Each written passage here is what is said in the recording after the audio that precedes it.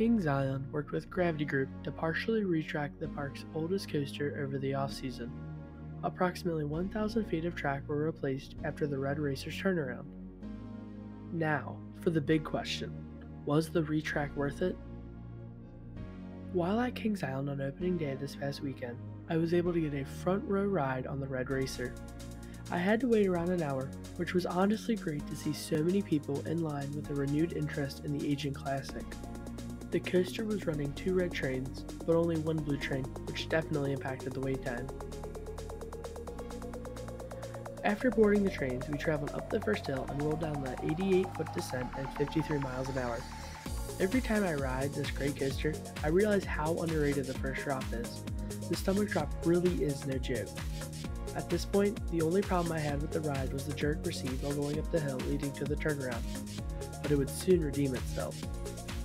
Then we traversed the slow, slightly banked, nearly 180 degree turn, which is a nice break to the vertical mayhem just experienced a few seconds ago. We were about to head down the next drop, but then, little had we known, some sort of godly figure, maybe an alien, but most likely an angel, had blessed the remainder of the track we were about to endeavor. Just as we started the new Gravity Group track, I felt something. The rattling disappeared. My legs were perfectly still, as if the jackhammering had just vanished.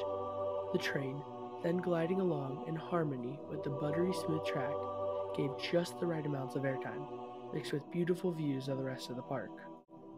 Okay, okay, that was a bit dramatic, but still, the last portion of Red Racer felt amazing, at least for a 50 year old PTC Woody. While you really don't experience any lateral forces on the returning section of the racer, the vertical forces were smooth, consistent, and overall, fun. For the little bit of laterals you do experience, like on the curve drop right after the turnaround, there isn't any shaking in your seat, and it's overall a much better experience. I'm very glad Kings Island worked with Gravity Group yet again to refurbish and tidy up one of their great woodies, and I hope to see more of their work in the future. I would like to see more of the racer itself receive more Gravity Group tracks. The company really does know how to not only build great coasters, but also to retrack them. Thank you guys so much for watching this video. If you enjoyed it, make sure you leave a like down below. If you have ridden the retrack or are excited to, leave a comment about your thoughts.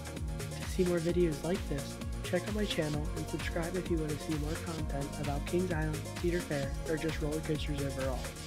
If you would like to be notified when I post new videos, make sure to hit that notification bell. Once again, thank you for watching, and I hope to see you again soon.